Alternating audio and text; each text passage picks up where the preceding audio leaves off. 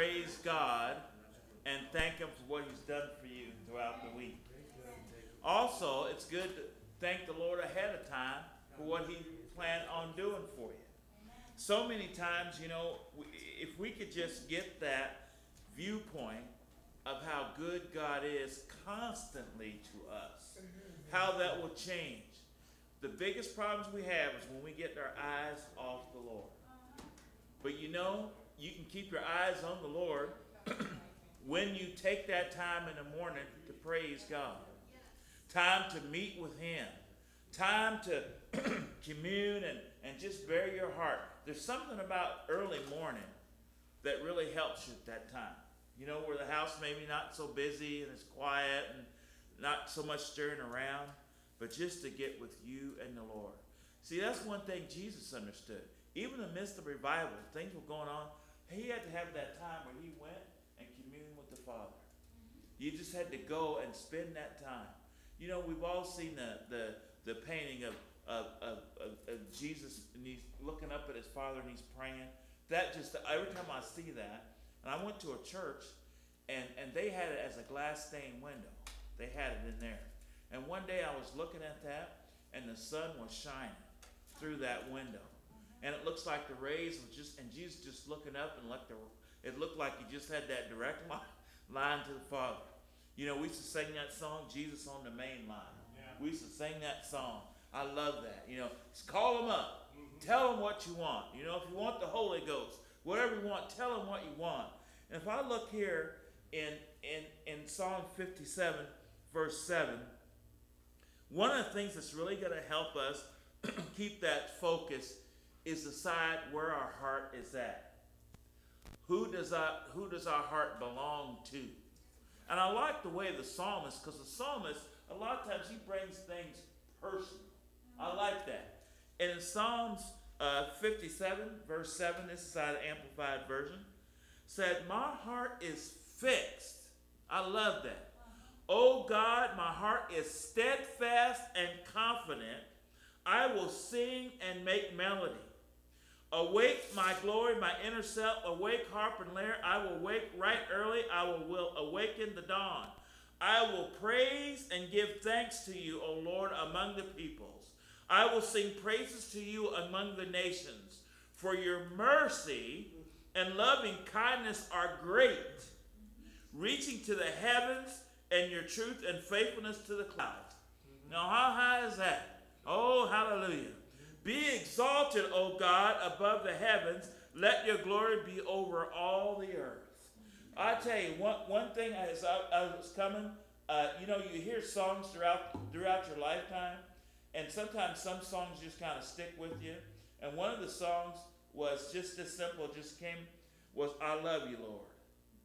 It's a, it's a Petra lyric, but I just love that. And sometimes we, we would sing at a church I used to go to, I love you, Lord and I lift my voice to worship you. O oh, my soul, rejoice. Take joy, my King, in what you hear. Let it be a sweet, sweet sound in your ear. I love you, Lord. I love you, Lord. And I lift my voice. Hallelujah. And I lift my voice to worship you to worship you. O my soul, rejoice, O my soul. Take joy, my King. Take joy, my King, in what you hear. In what you hear, let it be a sweet, sweet sound. Let it be a sweet sound in your ear. I love you, Lord. See how personal that is. I love you, Lord. I choose to love you, Lord. Amen. Hallelujah. And I lift my voice. See, I'm, I'm making a declaration. You know, when we think about Patrick Henry, memories, give me liberty, give me death. Right. I, I remember we had an opportunity to visit out there in, in, in Philadelphia, and you look at all this Independence Hall, you look at all the history. But you know what? He, he made a declaration, okay? And it's time, as Christians, we should make a declaration who we belong to. Hallelujah and it's all right. I love you, Lord.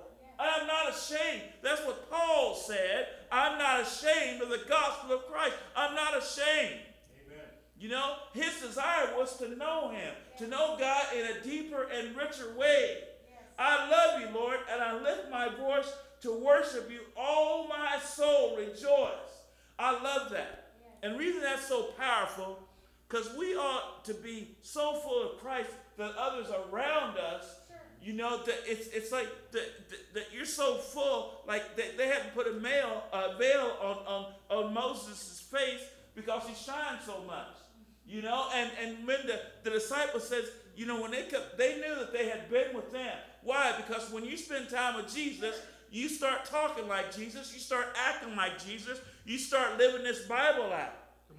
I, I was in I was uh, in in the truck today and and and I, and I was working with the students and it wasn't even I, I had said nothing about the church at that time. Didn't say nothing.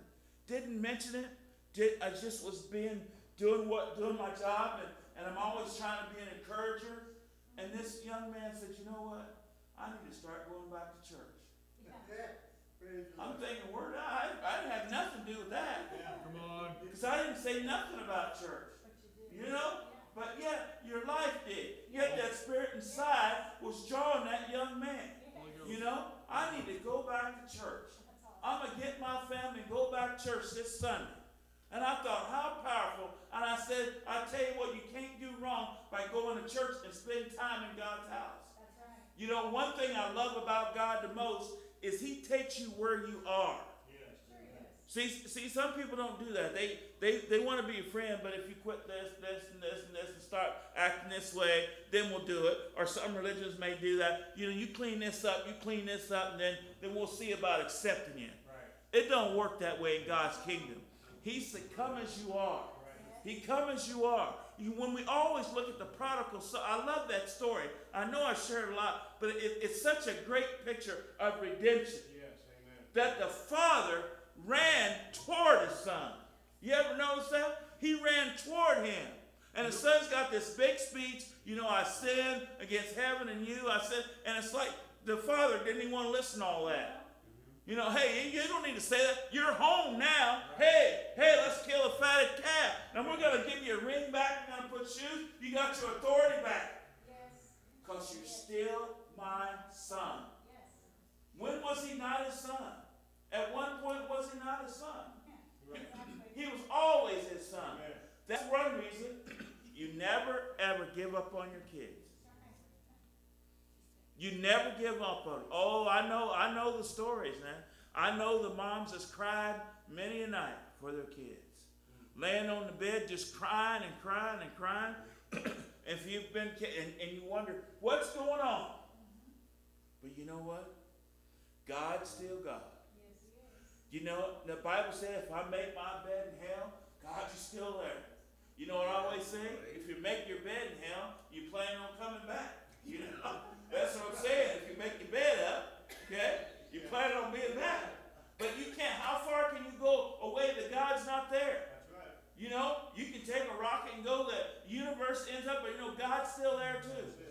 No matter God's still at the jailhouse. God's still anywhere. Okay? Because the one thing about God, He's the creator. He started all this. Okay? Now that's one thing we got to get that. You know, uh, Oswald Chambers once said, you know, he, he didn't he didn't care what God did. You know, you have different things happen in life. He just cared who God is. Okay? Because whatever God does in his life, he understood it's about who God is. Yes. And God is powerful enough to turn those situations around that don't look like they can be turned around. I get that all the time. Well, what am I going to do, Tim? you know, it looks like an impossible situation. You know, I need tax money. I need this. I need that. I said, hey, take, what, do you have a God that can't take care of that? That's right. Yeah, exactly. You, do you really think God can't take care of that? Sometimes we think God goes to sleep or something, mm-hmm. you know, and, and wakes up, man, that kind of flew by me. I didn't even know that was going to happen. Yeah. You know, do we have a God like that? No. Because Jesus said he is the beginning and the ending, the Alpha and Omega. And he said his father loved him before the foundations of the world. So then there was a day there was a world. There was a day there was before the foundation was. So how far back does that go? Somebody, somebody asked me, said, Tim, the Bible starts in the beginning God. How far back does that go? Well, I don't know. I don't know. It goes in the beginning. In the beginning, I, I mean, we're talking way back. You know, and I, I said, I don't know, but God was there then. That's right. And one person said this, don't worry about tomorrow. God is already there. And that's one a lot of times, I was thinking about today, a lot of times we worry about so much stuff that hasn't even happened yet. That's right. Right. And it may never happen. Sometimes we worry, oh, what's gonna, you know, the one thing about worrying, and I've learned through the years, worry never helps the situation at all. Nope. Nope. It just stressed you out. You end up eating more potatoes or something. You, know? you end up eating more stuff because you, you're worried and you're chewing your fingernails off or doing something. You know, you all worry about. It's like, oh, what kind of God do we serve? Mm-hmm. Let me tell you. You know, I always think about the children of Israel when, when the Egyptians was coming after. Here was a Red Sea. I mean, it didn't look very good when you see the dust of the Egypt, and you got how are you going to get because you need to look at God. So, and, and they was yelling at Moses. You know, Moses got kind of a bad rap because now you got the yelling. You brought us out here to die, and here they come. You know, and he, and he kind of got, what am I supposed to do? Tell them to go forward. Tell them to go forward. Do you see this sea right here? Yeah, but you don't see. They come out because I brought them out. Right. I brought them out, and every one of them's going to cross the Red Sea on dry land. Every single one of them. I'm not going to leave one of them behind. Isn't that wonderful? The Bible said, not one was left behind. Okay? Not one. And then when the enemy tried to cross, God closes the sea up. You're not going to see them no more. And that's who we need to depend on. We either going to depend on man or we're going to depend on God. That's the truth. And it's time right now for us to decide whose side we're on. You remember said in the Bible, who's on the Lord's side? Right. It come, it's coming almost down. A, a young man was talking to me about that today. Tim, we're getting to that point. Got to decide who is on the Lord's side. Are you stand for him or not? Yes. So you know what we're going to do? We're going to stand. Amen. Hallelujah. Amen. Hallelujah. So we're going to start with a prayer request. I had a uh, a lady uh, ask you to pray for her. Her name is Mary Ann. Um, she used to go when we went at the uh, church out uh, years ago out in Johnston, and uh, uh, her husband sent me a text and asked her to pray for some health problems. And you know, whenever I see them, they come on my phone, and some of you that already know me, I just send two words back: prayers up. Yes. That's it. That's what I send back. Just prayers up. Because when they ask me to pray, I'm not going to lie to them. You know, some people say, Would you pray for me? And they had no intention of praying for you. If they don't pray for you right at that moment, they probably ain't never going to pray for you. But I'm not going to lie to them. I'm going to be praying for them. And I said, Prayers up. And I believe the prayers don't stop here at the ceiling. They go up to the throne room. Why bother praying if that's all the far they got? You know, they're going to go up. We can come boldly to the throne. We can come and ask God to work in that situation. And I ask you to pray for, for her. Her name is Mary Ann. And then I ask you to pray for another friend. Her name is uh, Stephanie. If you would uh, pray for her, for some family situations. And I know that one thing when it comes to family, that's probably one of the most tenderest issues there is. Because I don't know anybody, if they're a normal, pa- if they're a normal parent, that don't want their kids to do well. I don't know anybody. Because you get to talking to a stranger and you ask them to have kids, and now, of course, you don't you don't have to bring out the the big big file of photos. You go on your cell phone, you know, and you start leafing through them because you can put a thousands of pictures on there. You know, this is my grandson that lives here here. You know, he's going to be a doctor. Who would want to be proud? You're not. You know, no no parents. Well, this son's incarcerated and this son's here. You want to be proud of your kids, right? But you know what? Whether or not my kid is doing well at this time or not doing well, he's still my kid. And I'm still going to love him, whether he's good or bad. If he's in jail or out of jail, I'm still going to love him. And I'm still going to pray for him. Because you know what? We get to that point, we do WWJD. You know, what would Jesus do? It's got to be more than that. It's not just what would Jesus do, what would Jesus say, how would Jesus act? Okay? Right. You know, it, it's, it's more than that, it's deeper than that. You know, because when we look at how Jesus did, you know how much he loves us. That, that's what got me on the subject now, is that he loves us so much. I, I was talking to the uh, Stephanie about um, she has some things in the family, and one thing we prayed for her, and you know what? It's like it was it wasn't even 24 hours, 36 hours. suddenly something changed in her life. And she says, you know what? God hasn't forgotten me. You know, she went out by the park and just was by herself and pray, realized God loves me, Tim. God has not forgotten me. And I tell you what, that's why you need people to pray for you, to let you know that, hey, when you're down, you're not alone. You are not alone. There is individuals praying. God may wake you up in the middle of the night or put somebody's heart. It may be clear across. You know, pray for this town or pray for this individual or pray for. You need to pray for your son right now. When when the, the kid's mom went, went went they rushed to the hospital. All I got was his text. Pray for mom. You know. So what do you do? Well, you know, I'm kind of busy. No, what you do, you stop and you pray for mom. That's what you do. And God got her out of the hospital and she's going to have a new job and God had turned a lot of things around in her life. But that's what you do. When she to come back and she received the Lord, you know that uh, God, you know, sometimes the worst circumstances, they look bad. They may look bad, but the Bible's true that all things work together for the good, right? We know that in Romans 8 2. All things, not some things, all things. God can, can turn those situations around that look hopeless and bring hope out of them. Hallelujah. Yes, Mike. Uh, we'll keep uh, Cindy lifted up. She's still facing some infections, um, and some pain, uh, lower back pains and things going on there. Uh, on the other side of things, the, uh, uh, IV she's had on for five and a half weeks, she will get that PICC line taken out this Friday, so Good. that's, that's a Praise positive God. move right there. Yeah. So praise God for that part of it, but Good. she's going through the ringer, but she's still standing strong and, and, uh, just stand with her. Hallelujah. Yep, we certainly will. That's what we're here for. Amen. Pray for one another. Amen. Yes. Someone else? I have, I told Yep. you, Yep.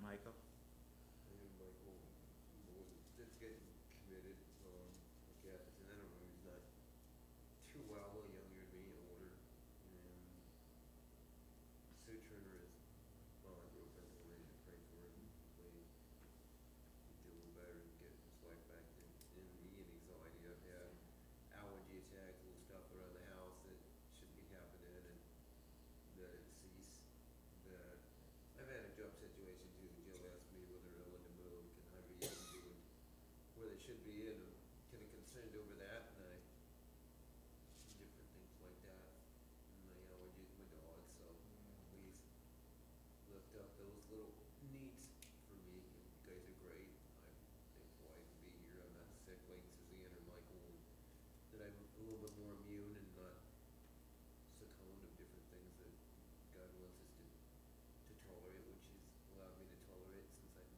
getting older and trying to communicate with God all the time. Amen. We'll definitely pray. That's, that's what we're gathered here today for. Yes. Yeah, we'll lift up, as uh, James was talking about, Mike and Suzanne, uh, went home, they're both sick, currently with the same thing right now, but just keep lifted up, uh, I believe they're moving, it- they're moving out of their house this weekend, so, uh, they need to be restored, recovered, and be able to take care of this move that the Lord is blazing their path for them, just watch over them. We'll definitely do that. Okay. Well, would y'all stand, please, for prayer? Father God, Thank you, Jesus. Lord, we just it is all about you. We thank you for all that you have done for us.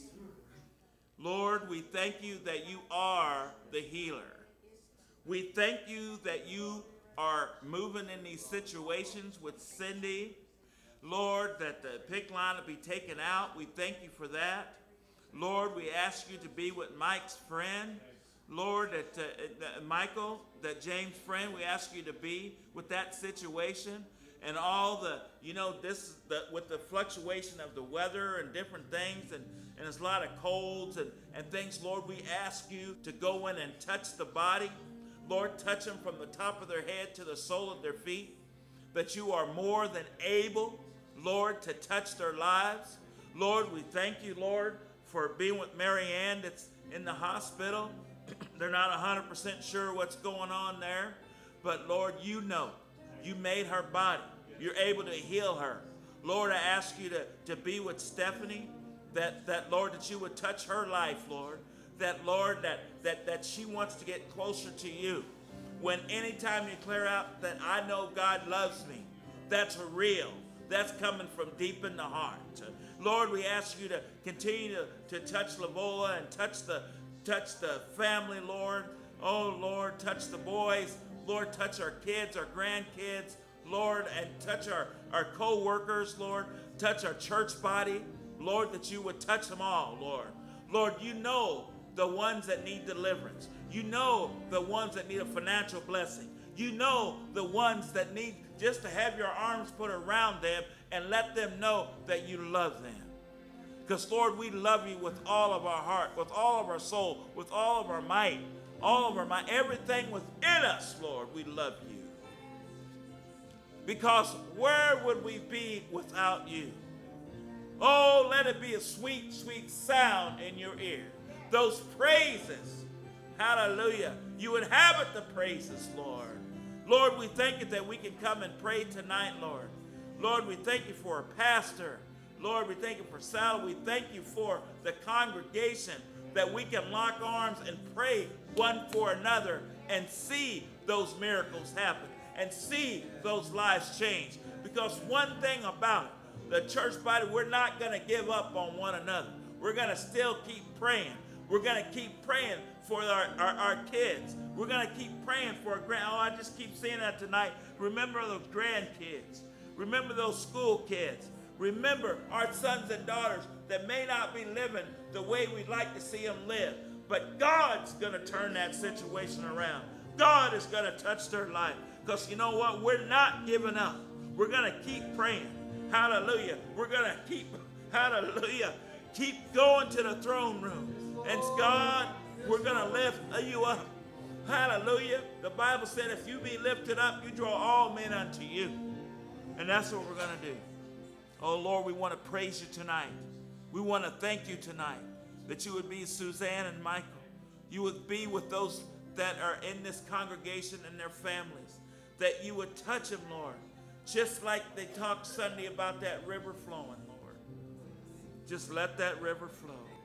Let your goodness, hallelujah, touch every one of us.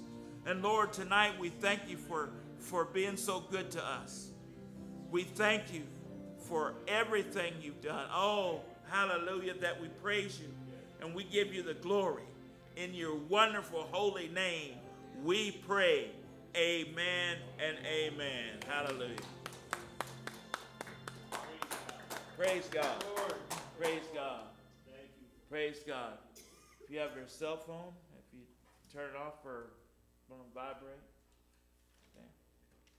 And uh, April 22nd is a woman of influence, daughters of the king. And, Amen. and so we're going to continue to lift that up. If anybody want to say anything about that or just remember to keep that in prayer, you know, because they tell you change lives.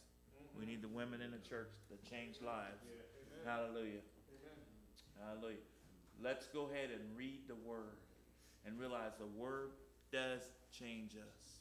Yes. This is God's word. Hallelujah. Inspired. God's word. Yes.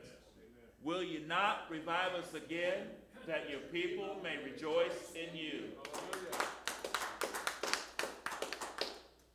I am a believer, and these signs do follow me. In the name of Jesus, I cast out demons. I speak in new tongues. I lay hands on the sick, and they do recover. Hallelujah. Christ has redeemed me from the curse of the law. Therefore, I forbid any sickness or disease to come upon this body. Every disease, germ, and every virus that touches this body dies instantly in the name of Jesus. Every organ, every tissue of this body functions to the perfection to which God created to function. And I forbid any malfunction in this body in the name of Jesus. Hallelujah. I received the spirit of wisdom and revelation in the knowledge of Him, the eyes of my understanding being enlightened, and I am not conformed to this world, but am transformed by the renewing of my mind. My mind is renewed by the Word of God. Hallelujah. The Lord rebukes the devourer for my sake, and no weapon that is formed against my finances will prosper. All obstacles and hindrances to my financial prosperity are now dissolved. The Lord has pleasure in the prosperity of his servants, and Abraham's blessings are mine. Hallelujah. Hallelujah. Uh, Brother Ron, would you be so kind to come and take the offering for us? Thank you. Thank you, Jesus. Thank you. I give you thanks and praise again for this day you've given us. Thank you for all the blessings you blessed us. You say in your word and you demonstrated, you are good and your mercy does endure Yes. forever. I thank you for the opportunity to be a part of the kingdom of God. Hallelujah. You love me, you love us all, and you're gonna do a mighty Lord.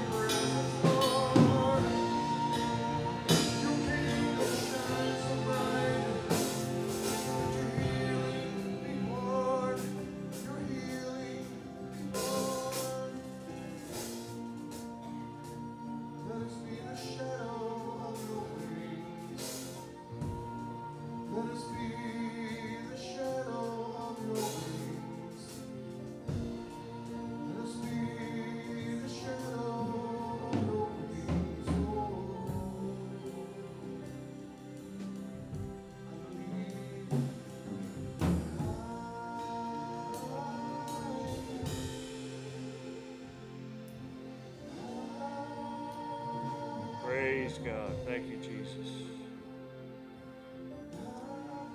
Hallelujah.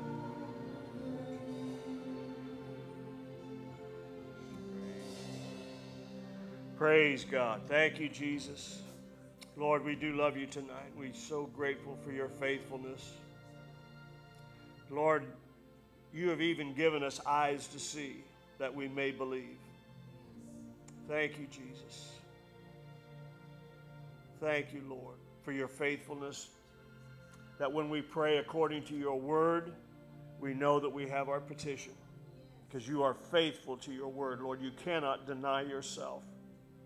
And we thank you, Jesus, that the prayers that were prayed here tonight, Lord, will come to pass, even as we prayed in agreement with your word. Healings, deliverance, breakthroughs, awakenings, Lord. All that's on your heart, Lord, for these people.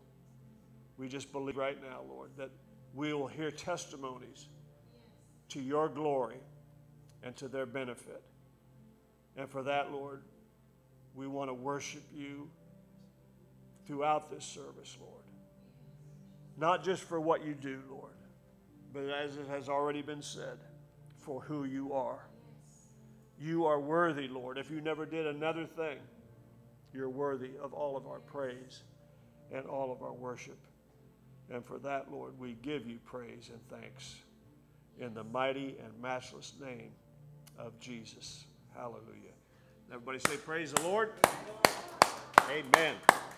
Amen. God bless you. You may be seated. Thank you, Tim. Great job as always. Appreciate the encouragement and inspiration that comes from your words. Hallelujah. Because they come from the heart of God. Praise the Lord. And that's all that matters. Amen. Thanks, Mike and Tammy and James. Thank you for leading us into the presence of the Lord. He does inhabit the praises of his people, and thank the Lord for that. Praise God. So we're grateful, amen, for all of you that have come out tonight. And uh, being faithful, amen, to, to the Lord in this way. Praise God. I'd like to, I have, I'm just going to have, I have something very simple and, and brief tonight. And uh, so if you'll uh, forgive me for my briefness, we'll just go right on through it. Praise the Lord. But, uh,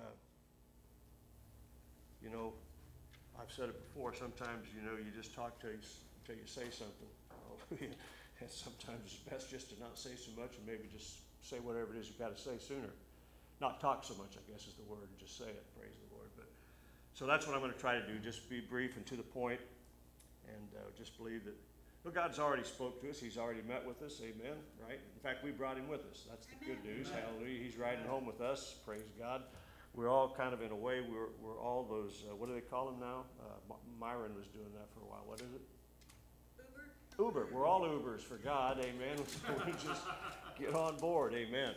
Amen. I'm grateful for that. Praise the Lord. So I want to I want to start, Mike, in Matthew uh, chapter 20, and I'm going to read verses 1 through 16. So that's kind of a lengthy scripture, uh, and we have several scriptures, but not as many as normal. Praise the Lord. Whatever that is, normal. I mean.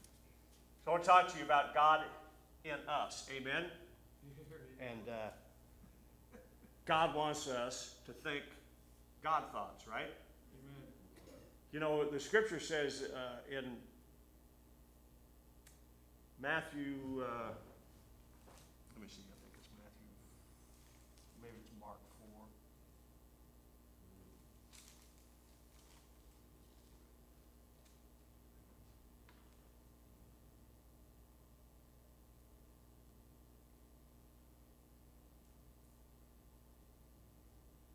This really doesn't have a whole lot to do with what I'm talking about, but it'd be worth repeating anyway. Uh,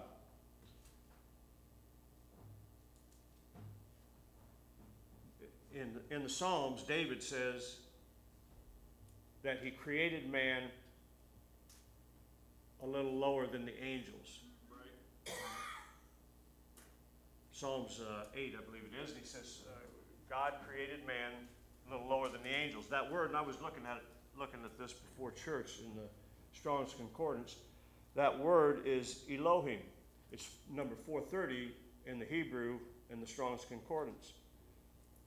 God, you go back to Genesis 1 1 where it says, In the beginning, God, that's Elohim, that's 430. It's the same, very same word. So think about it. God, He didn't create us a little lower than these other created beings.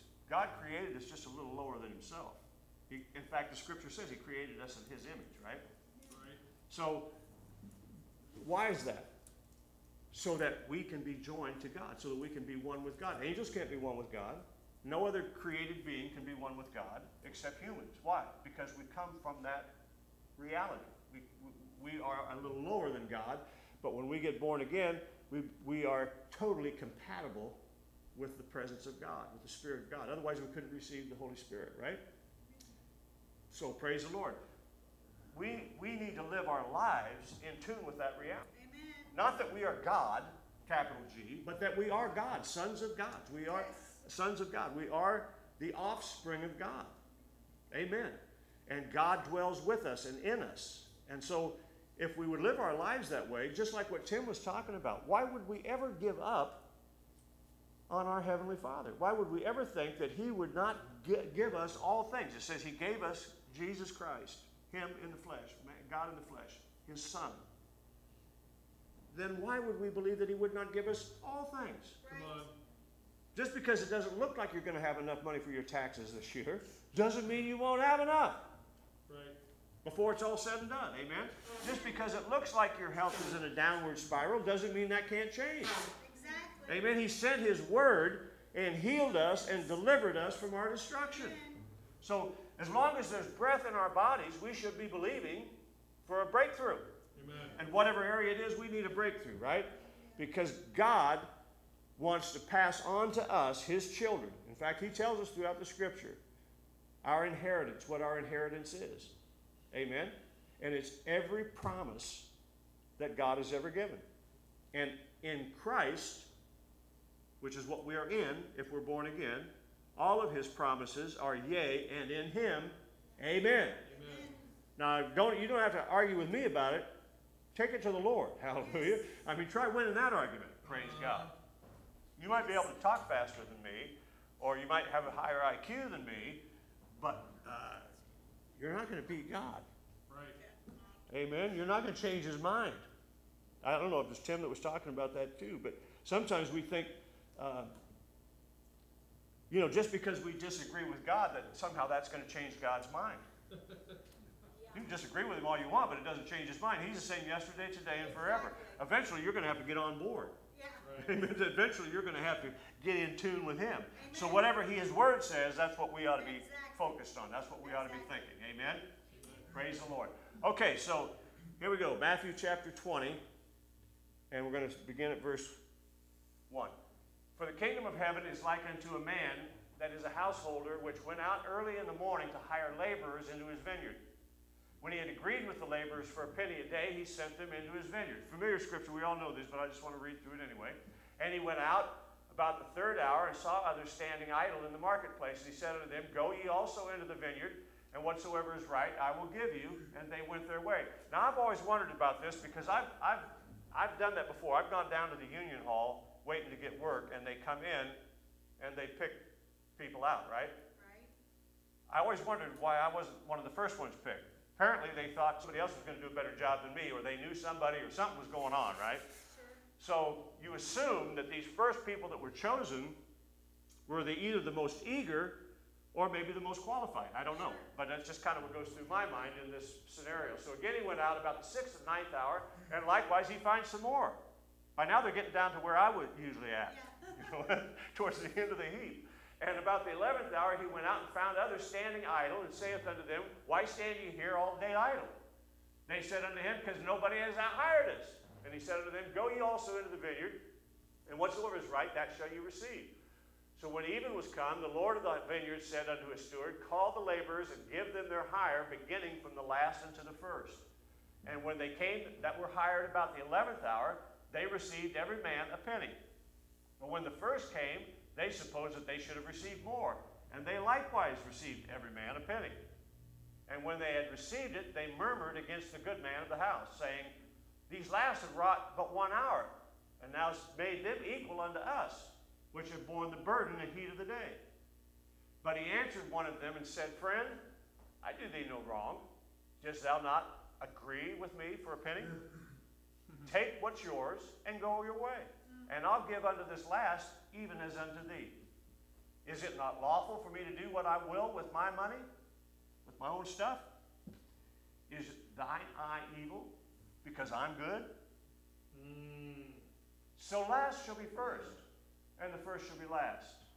So many be called, but few chosen. Praise the Lord. Thank you, Jesus.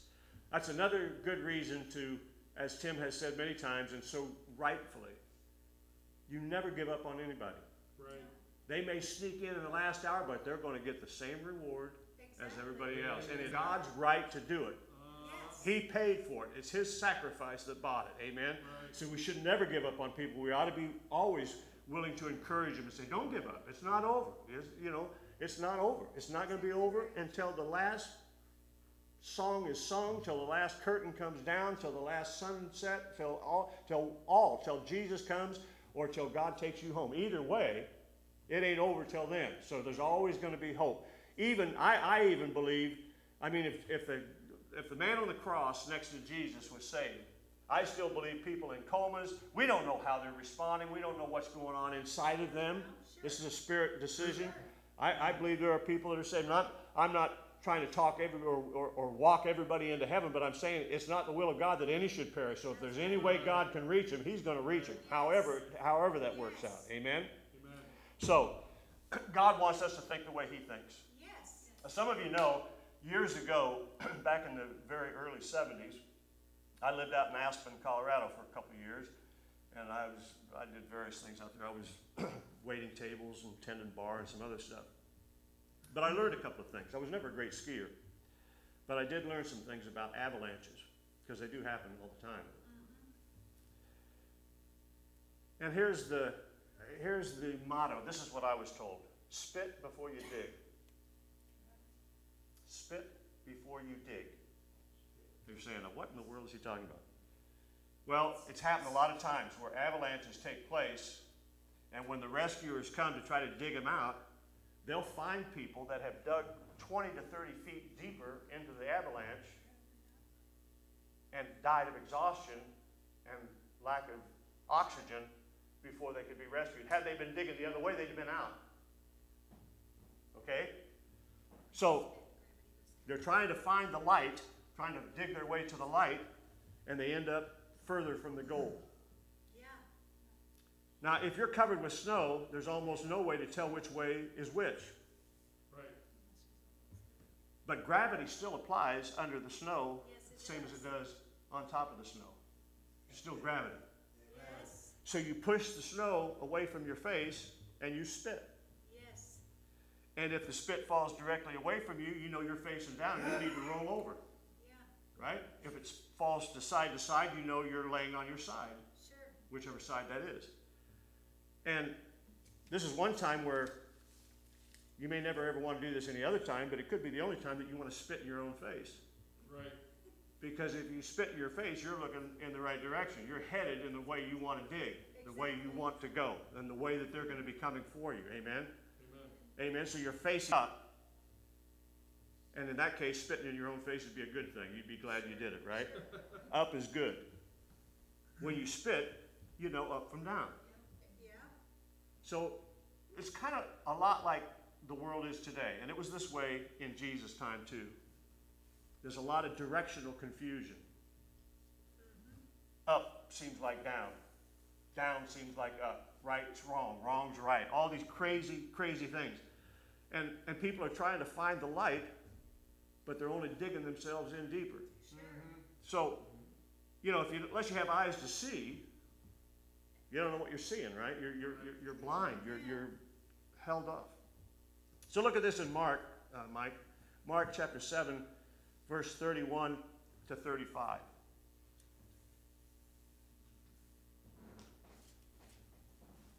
And again, departing from the coast of Tyre and Sidon, he came unto the Sea of Galilee through the midst of the coast of Decapolis, or Decapolis, and they bring unto him one that was deep and had an impediment in his speech, and they besought him or beseech him to put his hand upon him. And he took him aside from the multitude and put his finger in his ear, and he spit and touched his tongue.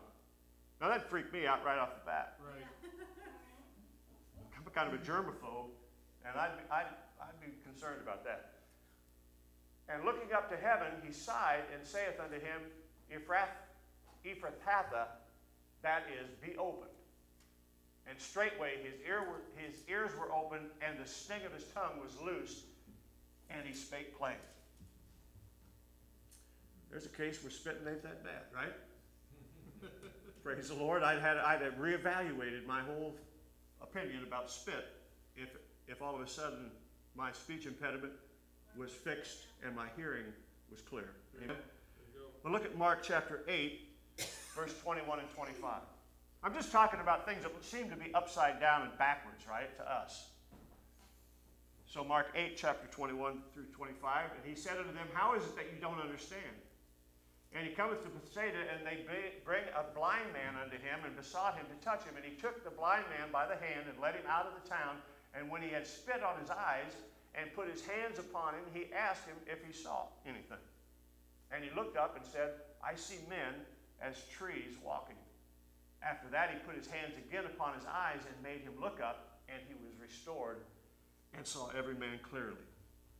So when Jesus makes things right, why does it seem like he's holding the map upside down?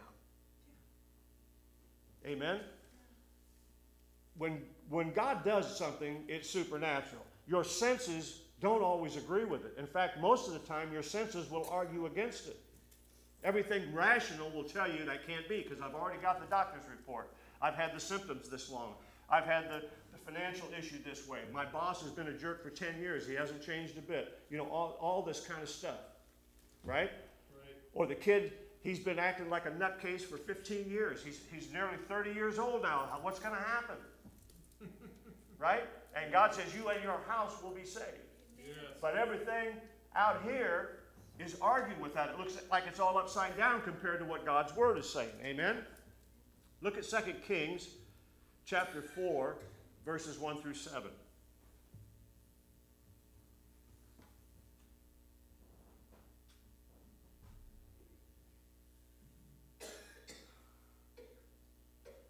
Now there cried a certain woman of the wives of the sons of the prophets unto Elijah, saying, Thy servant, my husband, is dead. Thou knowest that thy servant did fear the Lord, and the creditor is come to take unto him my two sons to be bondmen. And Elijah said unto her, What shall I do for you? Tell me what thou hast in the house. And she said, Thine handmaid hath not anything in the house save a pot of oil. Then he said, Go borrow thee vessels abroad of all thy neighbors, even empty vessels, and borrow not a few. And when thou art come in, thou shalt shut the door upon thee and upon thy sons, and shalt pour out into all those vessels, and thou shalt set aside that which is full. So she went from him and shut the door upon herself and upon her sons, who brought the vessels to her, and she poured out. And it came to pass that when the vessels were full, that she said unto her son, Bring me yet a, a vessel. And he said unto her, There is not a vessel more. And the oil stayed, and the oil stopped. Then she came and told the man of God, and he said, Go, sell the oil, pay your debt, and live, you and your children, on what's left over. Amen. Amen. I don't know about you, but that doesn't make a lot of sense to me in the natural. I got one pot of oil. Then go find every empty thing you can find to put oil in. In the natural, you're saying, but, but I, apparently you didn't understand me, Elijah. I only have one pot of oil. Yeah. No, get as many vessels, get as much empty containers as you can find, and just start pouring. Yeah. Amen? God loves to fill empty things.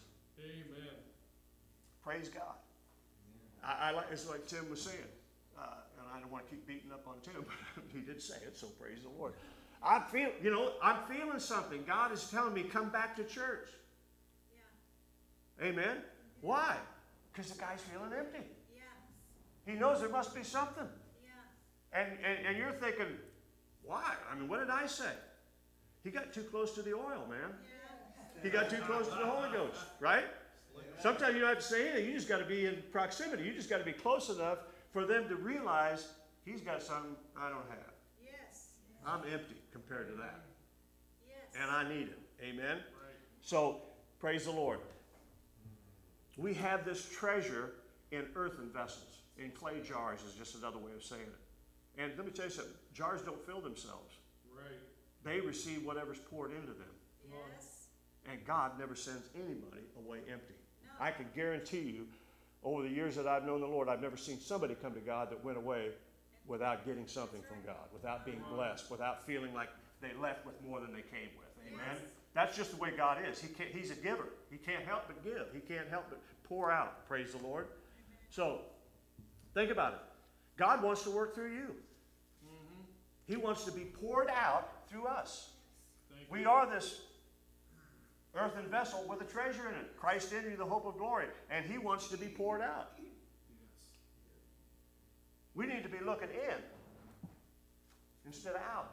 Mm-hmm. If you've got to spit on yourself to figure out which way that is, go ahead, but I'm just saying. Yeah. We need to be looking in because that's, that's where our treasure is. That's what we've got to offer. Amen? What we've got to give people is in us, and it needs to be let loose. Yes. And the only way that happens is if we are aware Exactly. of what direction this thing's flowing from. Yes. Praise the Lord. Amen. Hallelujah. Okay, Acts chapter 7, verse 58.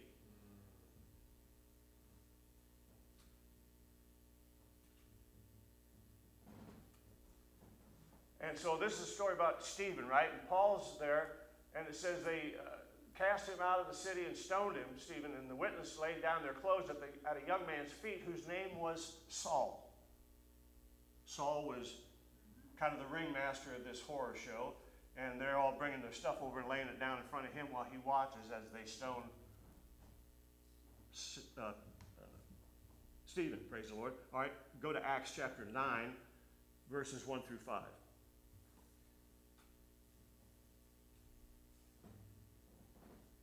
Saul, still breathing out threatenings and slaughter against the disciples of the Lord, went, on, uh, went unto the high priest and he asked him for letters to go to Damascus, to the synagogues, to, the, to any place that he could find any of these Christians, these Jesus followers, whether they were men or women, so that he could bring them bound to Jerusalem. And as he journeyed, he came near Damascus, and suddenly there shined around about him a light from heaven.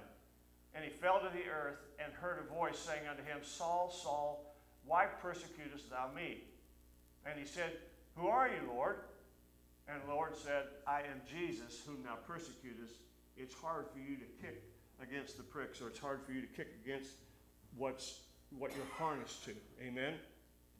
And so, I, I, this is the way I see this, you know. I, I would expect, coming from my background, I would expect that God would knock this guy off his horse. That doesn't surprise me in the least. What surprises me is that he didn't finish him off after he hit the ground. right? I mean, that's the way that's the way we would normally think. Because Jesus didn't need Saul. No. He could have found anybody. He could have sure. he could have empowered, enlightened. He could have done whatever he wanted to do with anybody, Sure. right? He didn't have to have. So what's the message? I mean, what, is it, what does it really mean to you and me? It, it's, you know, it's a fair question to ask what God was trying to say when he deliberately chose the least likely man on earth for the most important job on earth, which was to perpetuate the gospel and write two thirds of the New Testament. Right.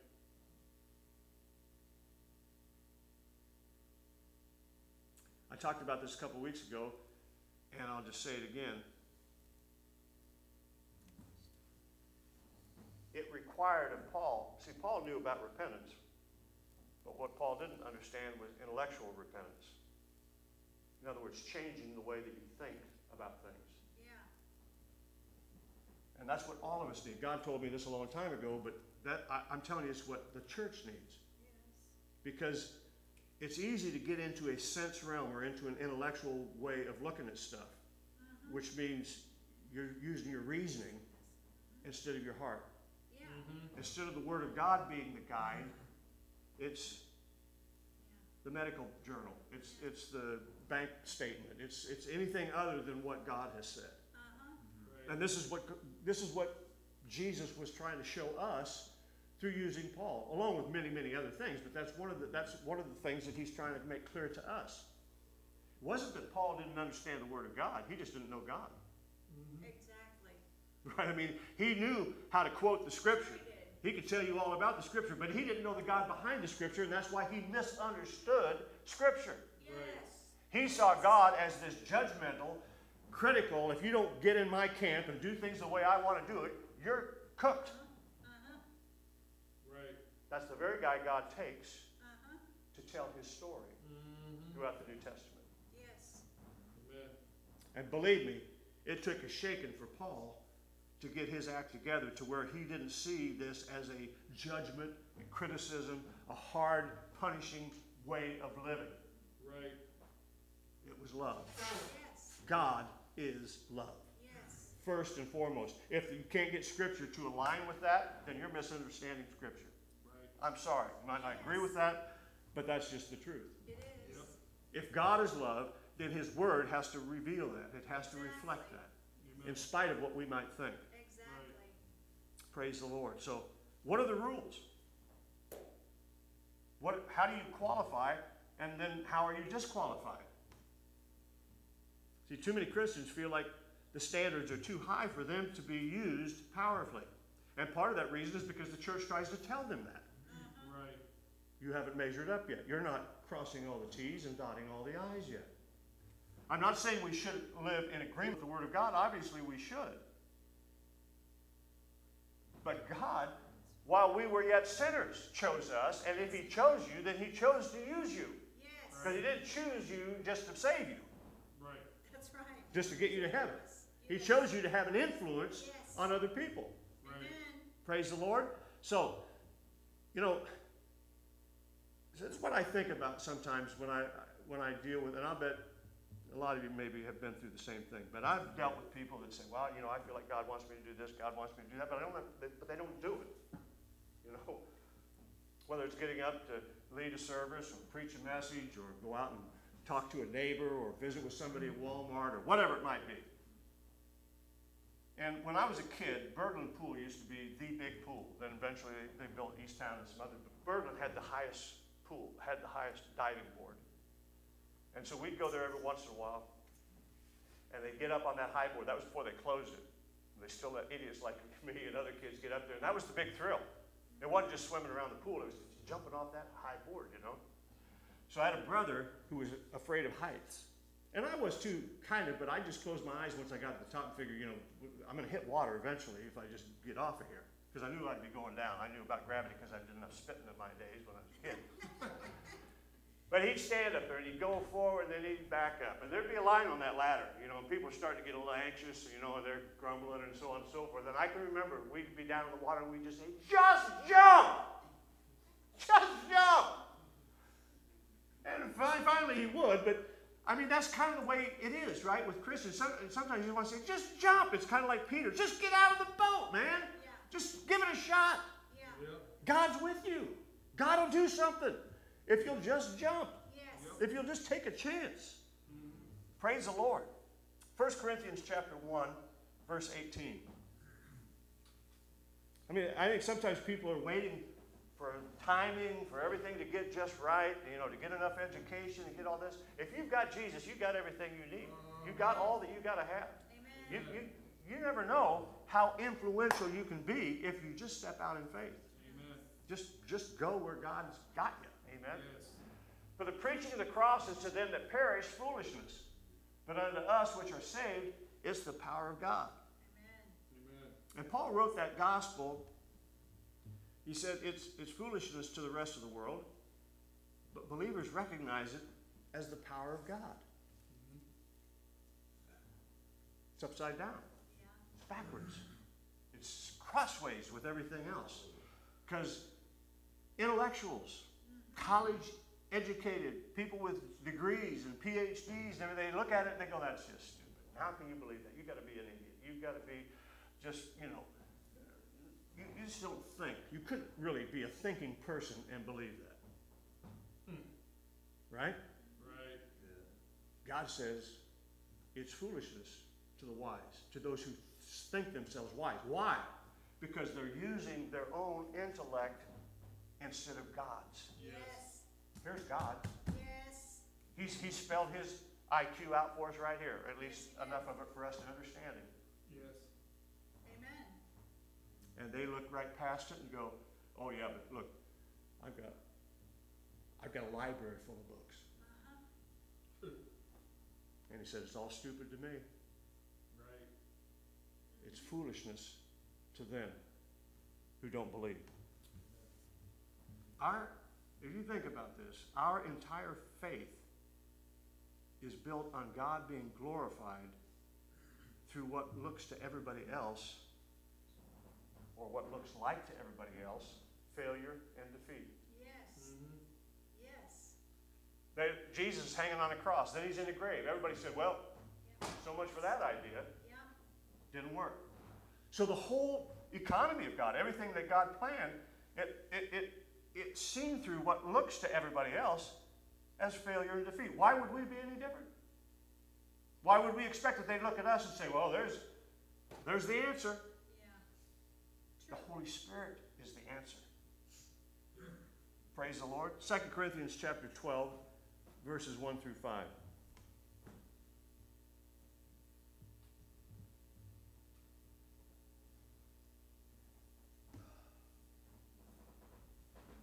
Is not expedient for me to uh, doubtless to glory. I will come to visions and revelations of the Lord. I knew a man in Christ above 14 years ago, whether in the body I cannot tell, or whether out of the body I cannot tell. God knows. Such a one caught up to the third heaven. This is Paul speaking, and he says, I knew such a man, whether in the body or out of the body, I can't tell you. God knows how that he was caught up into paradise and heard unspeakable words which it is not lawful for a man to utter. Of such a one will I glory. Yet of myself I will not glory. Paul's saying something happened in the spirit.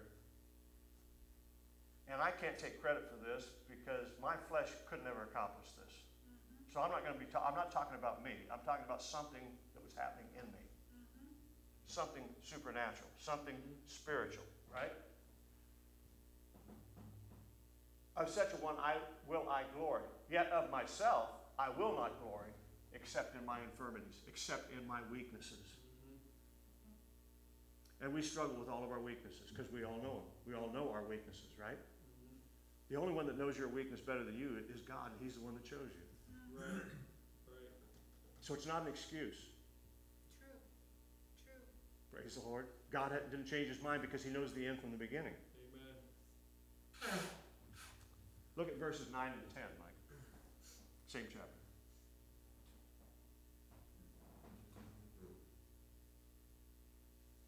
He said unto me, My grace is sufficient for thee, for my strength is made perfect in weakness. Most gladly, therefore, will I rather glory in my infirmities, that the power of Christ may rest upon me. Therefore, I take pleasure in weakness, in reproaches, in necessities, in persecutions, in distresses for Christ's sake. For when I am weak, then am I strong. Yes, The very things that we see as challenges and, and obstacles, God says, those are your gateways. Those are your paths. So that your weakness stands out and my glory comes through. sure. Amen. Praise God. God turns our expectations upside down. The last become first. The weak become strong. Yes, It's the way God does it. That's, Yes, this is is. the way it is with God. Colossians chapter 3, verse 3.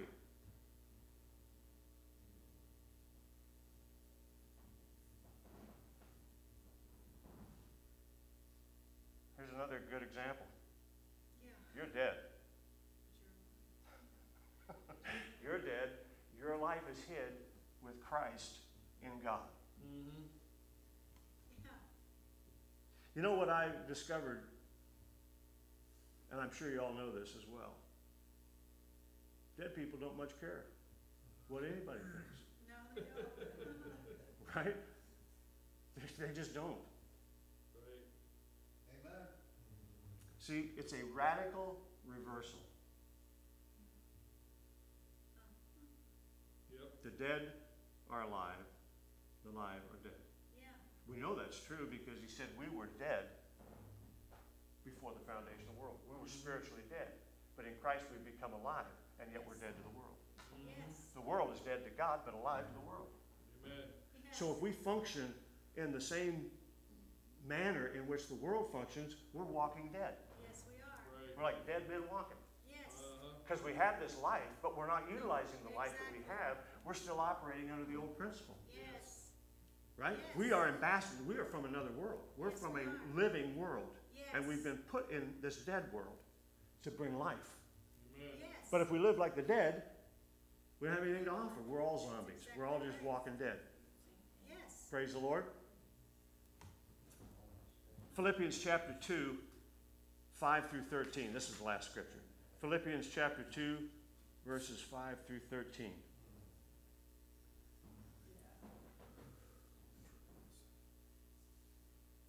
Let this mind be in you, which was also in Christ Jesus, who being in the form of God, thought it not robbery to be equal with God. Remember the, the scriptures I was talking about in, in Psalms and in, in Genesis 1? Ye are, you were created a little lower. He said, What is man that God would be concerned about him? Well, he was created a little lower than Elohim. In the beginning, Elohim. So he says, Let this mind be in you, which was also in Christ Jesus, who being in the form of God, thought it not robbery to be equal with God, but made himself of no reputation, and took upon him the form of a servant, and was made in the likeness of men. That's us. And being found in fashion as a man, he humbled himself and became obedient unto death, even the death of the cross. Wherefore God has also highly exalted him and given him a name which is above every name, that at the name of Jesus every knee should bow of things in heaven and things in earth and things under the earth. That every tongue should confess that Jesus Christ is Lord to the glory of God the Father. Wherefore, my beloved, as ye have always obeyed, not as in my presence only, but now much more in my absence, work out your own salvation with fear and trembling, for it is God which worketh in you, both to will and to do his good pleasure. Amen. Praise the Lord. So let me just wrap it up with this. Just spit before you dig. Yeah. Praise the Lord. And then just jump. Spit before you dig, and then take a leap of faith and see what God will do. Amen. Give the Lord a hand clap. Hallelujah. Praise God. Amen. God bless all of you. You have the power because it's Christ in you, the hope of glory. Nothing shall be impossible for you if you just keep that way of thinking so that you'll operate based on that reality. Yes. Amen. And you'll give glory to God in Jesus' name. God bless all of you. Have a great rest of the week. We hope we'll see you here Sunday. In Jesus' name. You're dismissed.